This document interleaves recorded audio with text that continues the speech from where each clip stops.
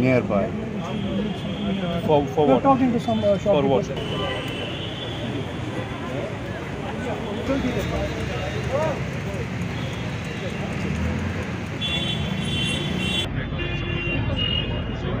Shopkeepers.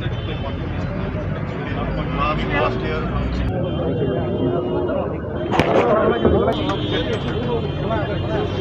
fast growing organization है जो इमाम हुसैन सलाम की कुर्बानियों को भी पूरी दुनिया में उजागर कर रही है और जो हुसैनियत का जज्बा है अ, उस जज्बे को खासकर नौजवानों में आम कर रही है उनने आज सबील इमाम हुसैन सलाम यहाँ पे मुनद किया है पोलो व्यू मार्केट में।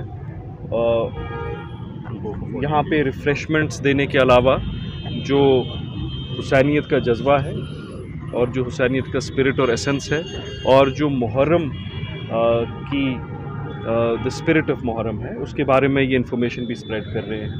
अ, तो चौदह दिन तक ये यहाँ रहेगा वी आर सपोर्टिंग देम और इन अ, ये कोशिश करेंगे कि ऐसे सबील इमाम हुसैन अलैहिस्सलाम शहर के बाकी कोनों में भी खासकर नौजवान ऑन देयर ओन करें और इससे स्पिरिट ऑफ़ कम्युनिटी बढ़े स्पिरिट ऑफ़ यूनिटी और स्पिरिट ऑफ़ टुगेदरनेस बढ़े।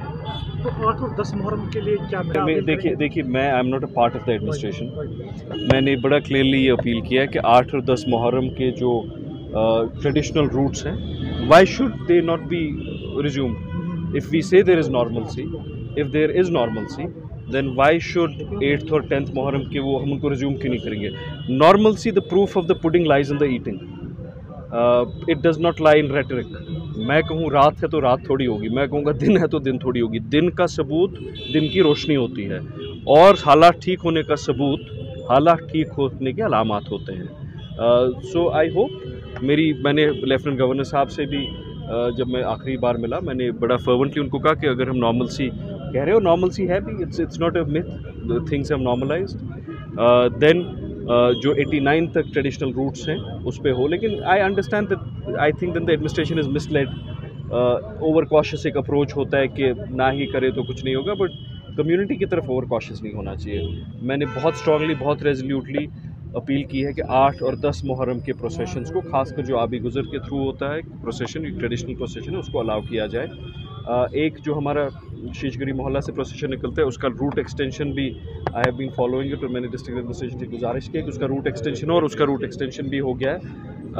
तो कोशिश तो रहेगी उम्मीद बाकी फिर the administration will have to take call sir Manipur में जो शेमलेस एक्ट हुआ उस पर क्या कहेंगे पॉलिटिशियन की तो बात ही नहीं है उसमें we should speak as human beings you know उसमें तो सियासत की बात ही नहीं होती इंसानियत की बात है इंसानियत पामाल हो गई है। uh, और मेरा मैंने कल भी आई ट्वीटेड दिस के article 355 and 356 of the constitution of India deal with break down of constitutional machinery इससे ज़्यादा ब्रेक डाउन क्या होगा?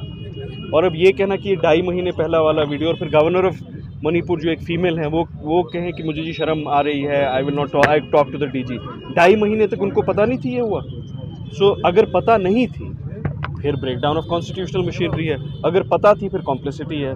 तो मैंने वही कहा कि central government how long of a rope is too long कितनी मणिपुर गवर्नमेंट को वो फरागत दे रहे हैं कि कित, कितनी कितना सब्र किया जाएगा? अ, तो वो जो मजलूम है मणिपुर के उनके साथ भी हमारा इजहार यकजहती है इजहार ताज़ियत है कि वहाँ पे क्या अज़ाइम हो रहे हैं ख़ासकर औरतों पे क्या अज़ाइम हो रहे हैं। और अल्लाह ताला करे कि वहाँ भी अमन बहाल हो और वहाँ भी जो मजलूम हैं उन पर जो जुल्म ढाए जा रहे हैं वो बंद